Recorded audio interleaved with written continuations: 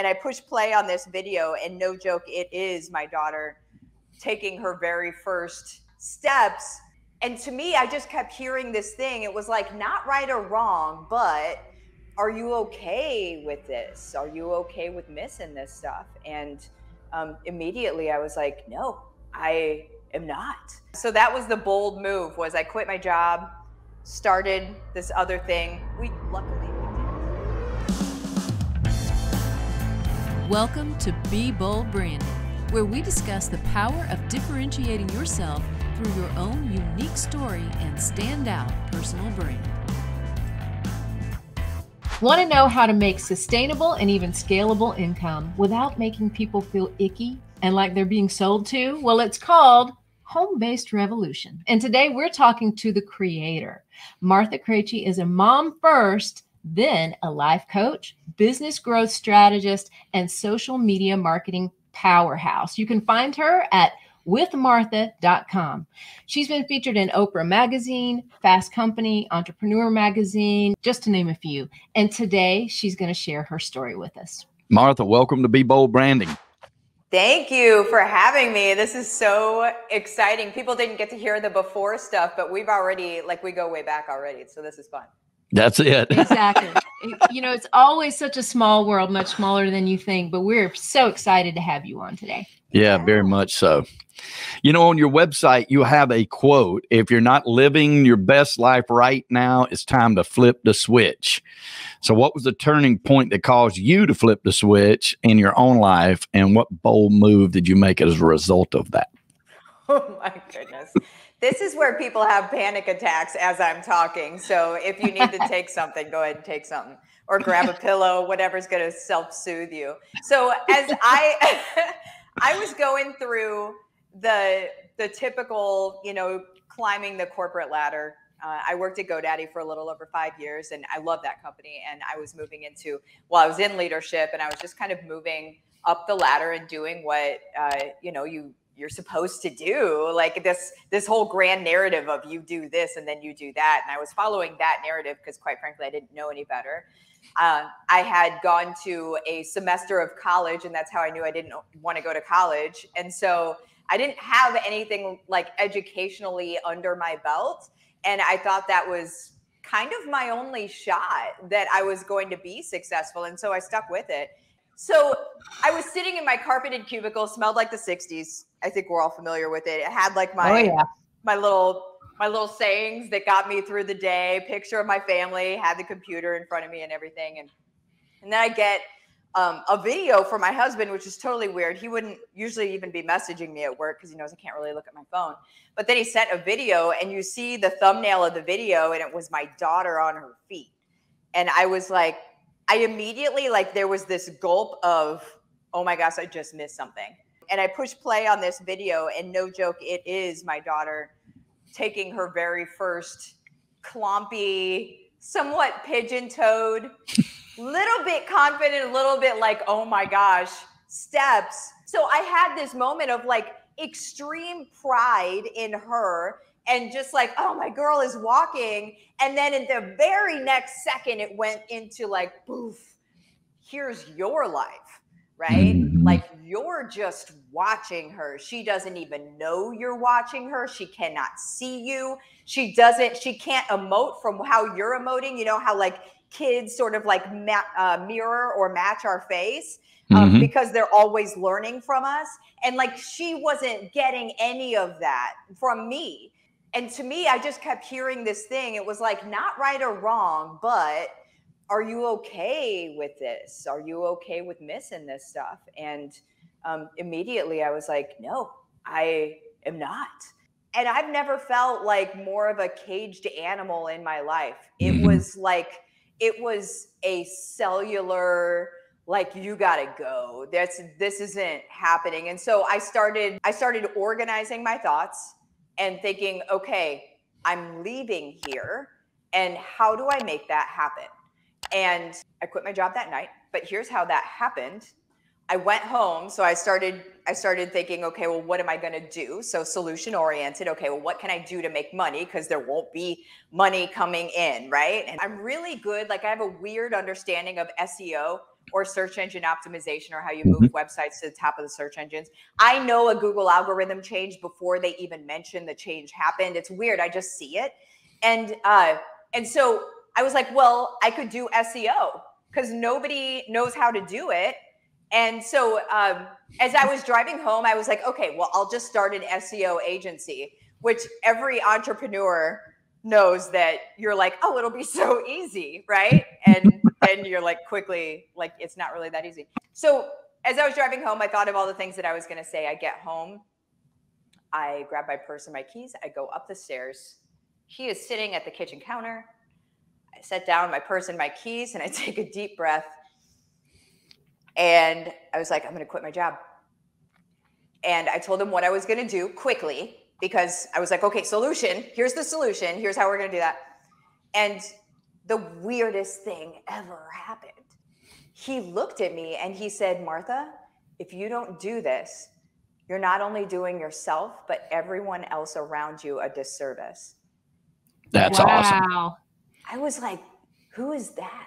Like that's what'd you do with my husband? What's, what is coming out of your face right now? and that's that's how I knew I had to do it because there are moments that happen like that where you're like, yep. you just know God's talking through someone yep. because that's not so true. He's he was supposed to be on the floor.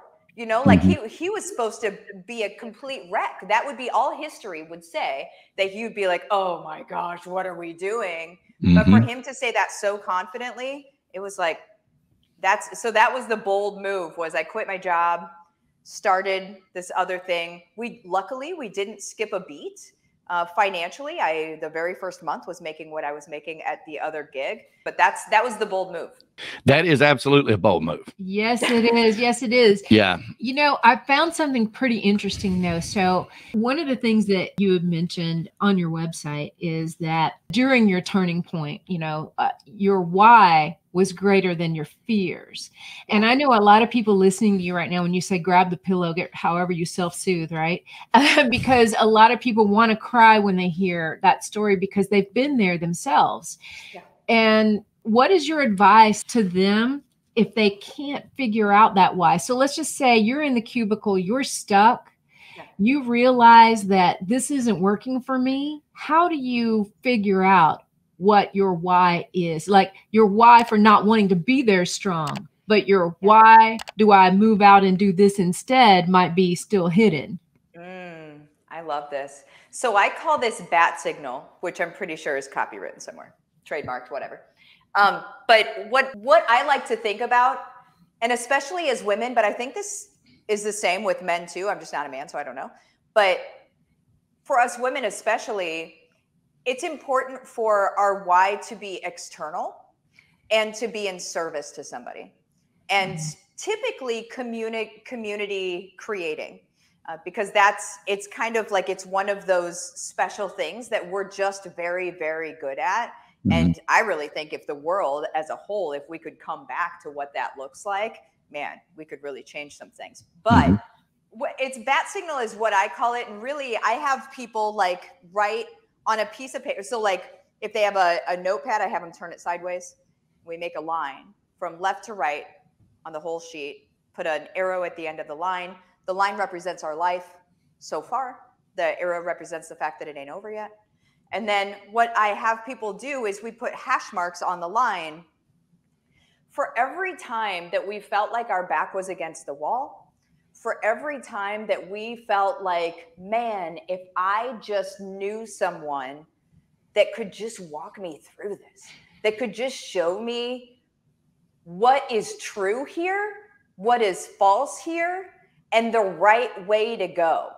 And so, a lot of us, we've had many of those moments. And sometimes it takes people a bit. I tell them not to take longer than an hour on the exercise because now you're just exercising paralysis and you need to you'll you'll get it out. You'll get out what you need to get out within an hour. But you choose one of those times and then you decide that that is the person that you're going to serve. So the community of those people is who you're going to serve. And so when we live in service and when we live to make someone else's life better and easier and more fulfilling, that's the that's as big of a why as we need in order mm-hmm. to move when we know confidently we, that we can do that because here's the deal is if we were in that space then we already did a ton of research to get out of that space. Mhm. we've already made it. We we know what we know but we discount what we know all the time. Because Sure. we're like well i know that so everybody knows that. Well that's not true. Or else people would stop googling it you know? So we all just need to show up in front of our people and serve them and help them and confidently do so. So whenever your whenever your why is about helping people and you're very specific about who you're helping just helping people isn't a big enough why because it doesn't hit you at your core. Like when when it's something you literally went through you know what it feels like to live inside of tragedy. You know what it feels like to live inside of just maybe despair. And it doesn't always have to be negative but stress and anxiety like it could just be that stuff but you know what that's like so to help somebody else out of that is easy And, and I'll Yeah, I I'll add to that. Uh, I'll add to that too, Martha, because you just hit on you know the reason that Brand Face exists today. You know, years and years ago, I grew up in an amazing family, an ama- amazing small town in in North Georgia, and however, I was my family was riddled with alcoholism and addiction, both sides of my family. So it was tragedy all the time. It was always some sort of you know trauma, something going on. And I realized at a pretty young age that sometimes the only difference in somebody waiting for the next drug deal and somebody going off to college with a bright future is self worth. It was getting them to see that there's something very unique, very special about them. And if we could unveil that inner star, then a lot of their future path would change. And so that's really why we exist today. And I, you know, like that really made sense to me when you talked about that. You you've got to figure out it's not just enough to have people you want to help. And I think that's a good takeaway from today already. It's not enough to just want to help somebody. Why do you want to help them? Your why has to be bigger than your fear. And I love where you're coming from with that. yeah It, it's very good stuff. hmm Very good. stuff. I remember, I remember sitting uh, one time um, in, uh, I, I was in Cancun, Mexico, and I had gone to a buddy's wedding. I actually officiated the wedding for for them. Great friends to this day.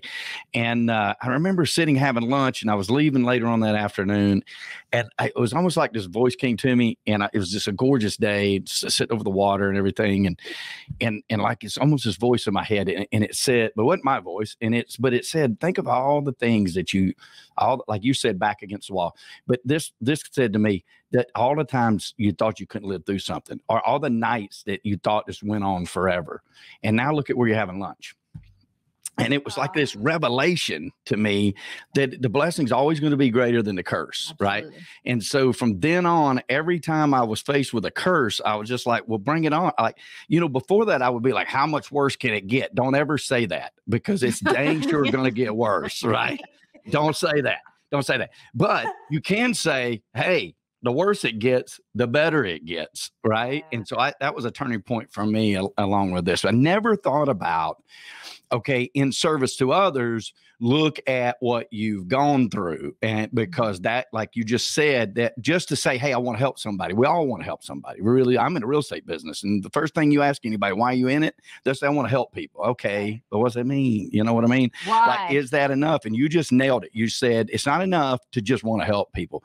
But if you choose one of those hash marks where you've been through it and it was poignant to you and your back was against the wall, now you know something to help them. And that's that's powerful. So yeah, two takeaways there, Martha. Fantastic stuff. Yeah. And because we work with people that want to escape the nine to five grind, right? They they don't want to be beholden to this corporate thing anymore, right? We've all been punished by the corporations. You know, we've had presidents in the past United States that said no corporation should be bigger than the federal government. That it, that, right? Name the ones that are bigger now. Right. Name the Amazons, name the Apples, name the Facebooks that are bigger than the government that's supposed to be helping the little guy to be protected from this kind of information and stuff. And then think of all those people that started a carpeted cubicle and it worked their way up to this giant, you know, whatever, and they hit glass ceilings or they hit this problem or that problem, or then they Fire. did they don't they get fired they get they pour their life into it and then they're like oh you're too old or you're too this or you're too that and it happens every day and we live in the land of opportunity everything is possible in america still to this day as long as we believe um, you know so what piece of advice would you give to people about quitting their jobs and following that dream right you know this, this yes. is a question based on your guide but yeah well that's this is the guide is we could talk about that in a second but this is uh, in quitting your job like first of all we have to st- I, I have so much wants to come out of my face right now. It's like i have to slow it all down. It's like i have so much. But first thing that we need to think about as you're wanting to quit your job is you need to believe that it's a realistic endeavor. You need to understand that there are lots of people living outside the corporate world. Mm-hmm. And the mass narrative that you hear, first of all, turn off your TV, please. But if your TV is still on, understand that that's a story and it's a story that they need for you to believe. And if you believe that story, you are beholden to them because you're scared to death. But the moment that you stop believing that story, open up a journal and start writing your own instead, then all of a sudden the world literally opens up to you because there are those of us that are creating like I I create income online, right? And so mm-hmm. there are plenty of us that are doing this and doing it with wild success. Like we're talking multiple billion dollar industry in the info industry in the education you know and and if you're thinking like oh well i can't do education or information we went we just literally went through something that you know how to teach people. And so that's where the worth comes in and the confidence comes in. You went through it.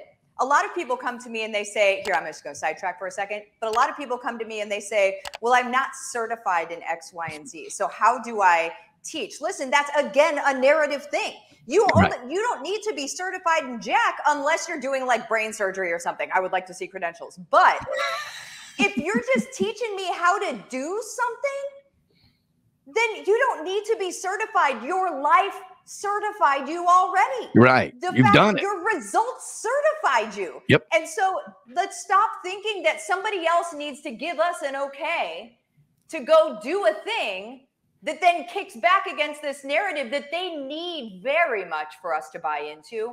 And so that's why there's so much money in in in the marketing of the narrative. And I'm going to say the marketing of the narrative because the news is bought and sold. So point one, you have to believe that it's possible for you. And it is. And if you didn't just hear me talk, rewind, it's possible for you. After that, all you have to do is is document okay, how'd you do the thing? Create content around that. And then you're able to start creating that income. Now, do I say that people should? And there's, you could just search my YouTube stuff all the live long day to find out how to do all of that, by the way.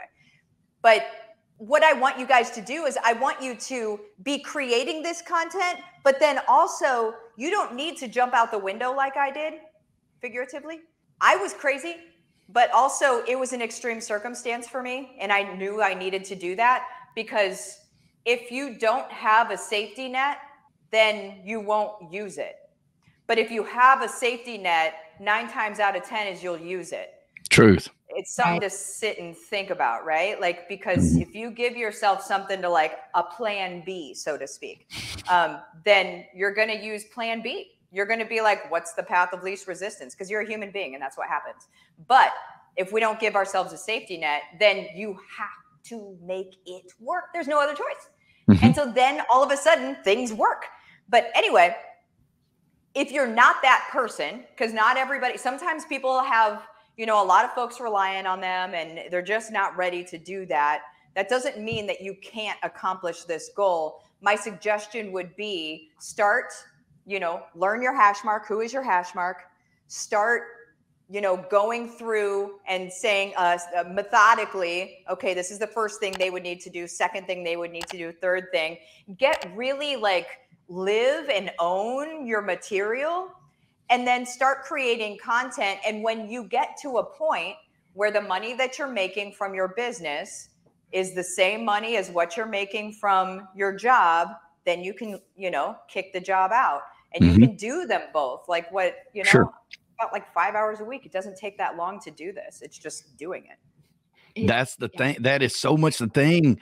Just do it. Like you, you got to have the dream. The dream is good. The dream, you know, like what what uh, Travis Smithers. uh, He's got a song and he says, you know, what isn't real is genuine illusion, right? And so they it's create your own illusion, and you can do that, but you have to do it. You know, you don't. You can't just say it. You can't just dream it. You got to go take steps forward. But like you said, you don't have to like literally bail out of a window and say, you know what, yeah, I'm out of here. I can't stand you people. You never empty the trash. Jerry can. Maguire taking Right. the fish. Yeah. Yeah. Who's going with me? I got the fish bowl. I got the fish with me. Who's going? Well, I remember um, there were there have been three times in my life when uh, you said you know jump out of the window figuratively, right? I, I always call it jumping off a cliff without your clothes and hoping to find them on the way down. Yeah. and I've done it three times, and luckily, I like to say I have landed fully clothed. Been dressed every time. Lucky Dang for it. everybody, right? but that's the way it feels sometimes. It felt that way the first time, the second time, the third time, but I had more confidence each time that, Mm. oh, I know how this is going to end. It's just like, okay, what shirt will I be wearing? Right. But, Right. but it's like winning how it would end. battles and the more battles you win the more you realize the battles Right. you can win. When I, I had a chance to be an engineer out of high school and they were going to pay for my college and all i had to do was commit to work for them the same amount of years as they paid for my college. Electrical engineers we built conveyor belts things like that. Loved the job actually. It was fantastic. It was not what i wanted to do. It wasn't my life's passion. I didn't want to be an engineer. I wanted to be an auctioneer. And my mom cried. She's like oh i don't know how you're going to eat. It's not you don't know where your paycheck's going to come from stuff. But i i was lucky because i was young at, at that given time. But I, I fashioned in my mind i'm like i don't care if i make $10000 a year i'm going to do what i want to do for a living the rest of my life. I don't care about the money. The money will follow i'm going to do what i want to do and and if you're an older person listening to this that like like Martha's talking about, and you've got that, you know, oh, I got look, I do have responsibilities. I do have five kids. I do have, you know, my in-laws. I do have to have the insurance for a minute. Like you can, if you're still passionate about it, you can do this. You could just start doing it, and then when you get it to that size that you're comfortable with it, then you bail. Then you there's other ways to do it, it but you just got to do it. Yeah. That's and I I even will take it a step further and I'll say it's our responsibility to do it.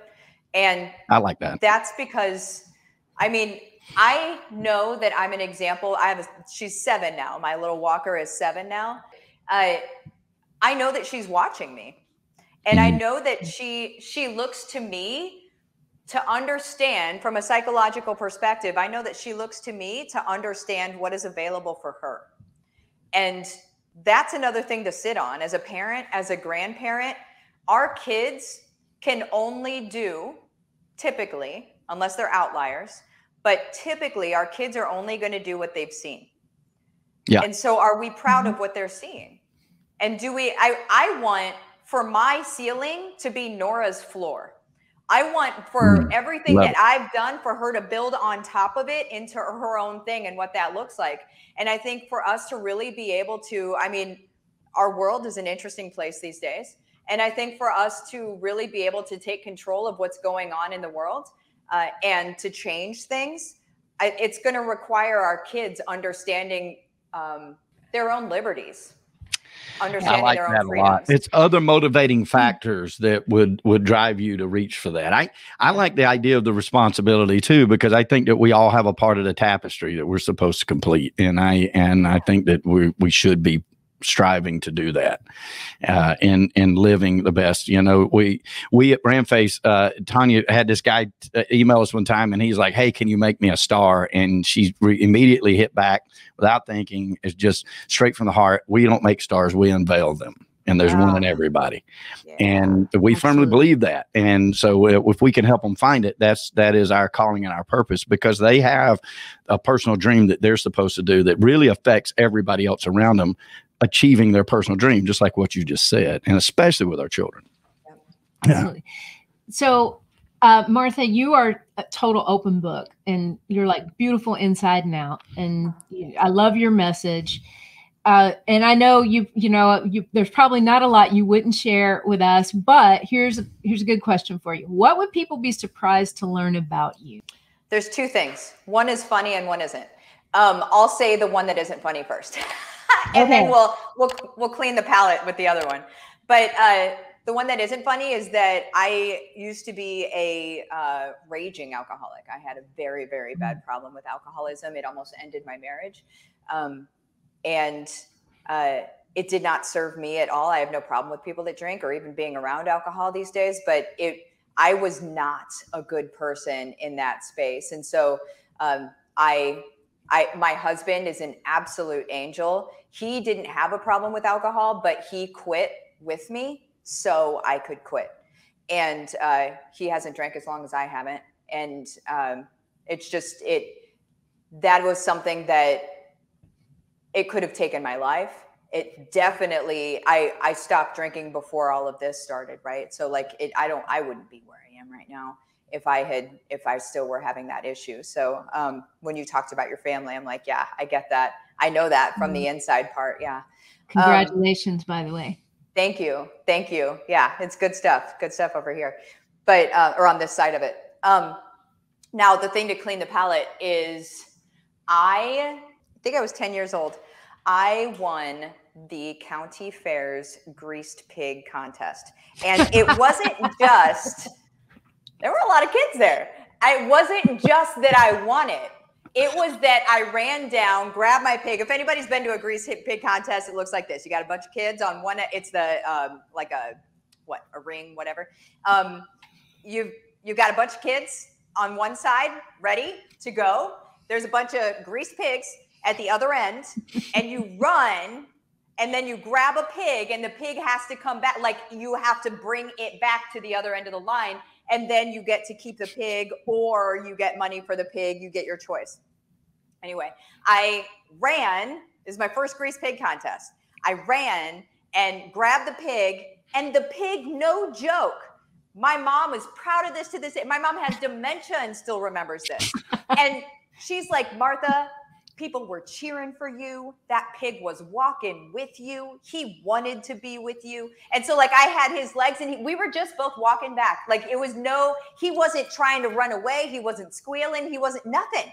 And uh and I liked him very much. He rode home with me in the back seat of our Corsica, and I grew up on a farm, so he just went to the farm with me. But uh, yeah, so that was that's another thing not a lot of people know. Okay, I That's have, fantastic. I have one follow up question. You mentioned it was your first grease pig contest. Were there others?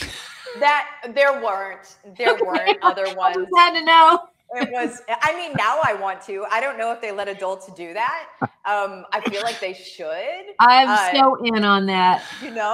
yeah. I would do it with you. There, there's a couple of apple farms here in uh, in North Georgia that have the races. I don't think they let, grease them up and let them catch them anymore, but they uh, they have the pig races. So you, they're a sight to behold in and of themselves. So I love it. I love it. Hey, what is something we should ask you about yourself that we haven't? I think maybe a good question would be did everything just work out whenever I whenever I started things? So when whenever I and I'll answer it. um, whenever I uh, started, I started with an SEO agency and I um, to in, in order to make money with the agency, I or to market for the agency, I guess, I joined the local chamber of commerce and I just started doing some trainings. And while there were only, you know, seven people or so at the trainings, every single one of them did like a freaking table rush at the end because I was showing them how to do SEO, but then they didn't want to do it themselves. So they, Right. I was the natural, obvious choice to hire to do that. And that's uh, so if anybody's got any like professional services that they're thinking of doing, the Chamber of Commerce typically like 200 bucks a year, not bad. It's tax write off. And then, uh, and you're welcome to the wonderful world of tax write offs also. But um, also another thing, like I'm just going to draw, I'm just going to do some gold nuggets here. Another thing is you don't need an office unless you need an office. Like I thought I needed an office for my SEO agency and I did not. I just needed to go meet people at their office or at the coffee shop or whatever. I did not need to spend two grand a month on a stinking office that then I had to go to. Like I didn't even want to go anywhere. I'd rather be in my pajamas doing my work. But I've been um, there and done that. Yes. Mhm. Isn't it crazy the stuff you think you need to do? Mhm. Yes. Um, so there's that, and then uh, yeah, so join the chamber, do some trainings for people. They'll and they'll hire you on the spot probably if, if you do the training well, and then um, from there, what I determined is that my SEO agency was kind of like just another job. Uh, it, I was tethered to people the same exact way. I I came down to Disney World. Uh, my daughter was three at that point. We came down to Disney World. First time I had ever been to Disney World. Holler! Um, now we go every week. But uh, we had come down, and I remember clients just kept flipping emailing me and messaging me while I was at Disney World, and I'm like, this. Which I don't know about you guys, but I get anxious when there's stuff that isn't done. And so Oh, I'm yeah. at Disney World and they're like, we need this, this, and this. And I'm like, I can't do that. I'm not at a computer. I'm on vacation. Like, stop talking to me. But um, anyway, so eventually I just ended up getting rid of the um, the agency and I started just teaching people how to do the stuff that I knew how to do. And so that's that's where I'm at, and that's that's where I found actual freedom for myself. Anyway, I don't know if it's the same way for other people, but for me, it's it's where I found freedom. Well, it's super good advice. I want to tell you why I think it's good advice. I when I, I have agents uh, in my real estate firm come to me all the time. And they're like, "How can I grow as a real estate agent?" And I'm like, "Think a little bit smaller than you've been doing." And what I love about it is you you started at a chamber of commerce. You started where people were, right? You you you were fishing where the fish were. You weren't just out there pounding the water just because you know you had a hook and a pole, and like there they are. So I'm going to them, right? But you did it in a brick in, in a brick and mortar establishment and started it, and then you parlayed one client, seven clients, into a dozen clients, into hundreds of clients, into thousands of clients, into tens of thousands of clients, right? And so that's so important. I think that grounding of starting like that. I think that people, especially in the internet world, it is very hard for them to grasp how huge this ocean is. And then they, they think, oh, well, I got to get in here. I'm going to open up this, you know, internet based or whatever. And then, oh my God, I don't have a half a million followers. I don't have this right here. But you, you just gave the formula. So that's a takeaway I want the listeners to hear, right? Yes, hopefully you have that kind of success that Martha's had, but she started right there with seven clients at you know at the chamber of commerce that needed their service and then she she learned she tweaked she moved it she changed it got rid of those old dispelled those old myths that you know i gotta have an office i gotta have this i gotta have that and now she serves hundreds of thousands of people versus that seven you know from the comfort of her home so that's Yeah. fantastic Yeah. Yeah. Martha, the time has come and we couldn't be more sad. yeah we could stay on forever like if we didn't have another one coming up we'd just be like hey let's make this a five Let's hour double down, Right. right? yeah. Well, we think you're amazing. And thank you so much for taking time out of your day to join us and to share some great bits of wisdom. Oh man, thank you. This has been really, really great, especially for my Monday. I get to start off my week like this. Uh, we do too, and we feel the same. So, all right, a, a quick reminder to hit that subscribe button, guys, for more personal branding content and amazing guests just like Martha. And hopefully, we'll be lucky enough to have her back again. So, hit that subscribe button. That's it, guys. Hey, listen, prosperity favors the bold. So be bold like Martha, especially with your brand. Thank you, Martha. Thank you, Miss Tonya. Brought to you by BrandFace, the only comprehensive personal brand building system across the globe.